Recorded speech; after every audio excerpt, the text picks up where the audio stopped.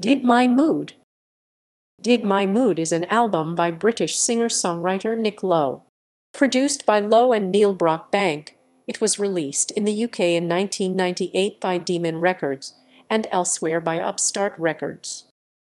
Critical reception AllMusic wrote that Lowe's songs are quietly ambitious, exploring new territory lyrically and musically, without leaving his signature style.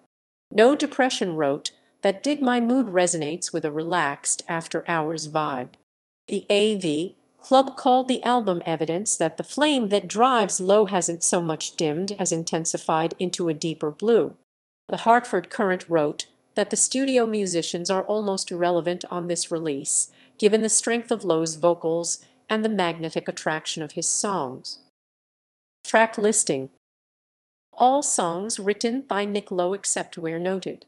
Faithless Lover 244, Lonesome Reverie 252, You Inspire Me 3 9 re 9 9 re 9, What Lack of Love Has Done 248, Time I Took a Holiday 329, 329 29, Failed Christian Henry McCullough 353, Man That I've Become 252, Freezing 356, High on a Hilltop 3 3, Lead Me Not to, 58.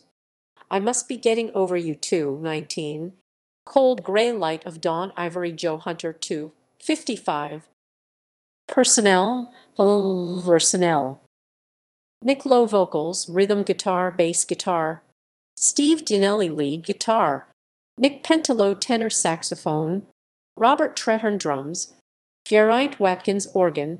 Piano, electric guitar, accordion. Production credits. Produced by Neil Brockbank, Nick Lowe, Nick Lowe, Nick Lowe. Recorded at RAK Studios, St. John's Wood. September Sound Twickenham The Bonaparte Rooms Twickenham R. G. Jones Studios Wimbledon London England between June 1996 and July 1997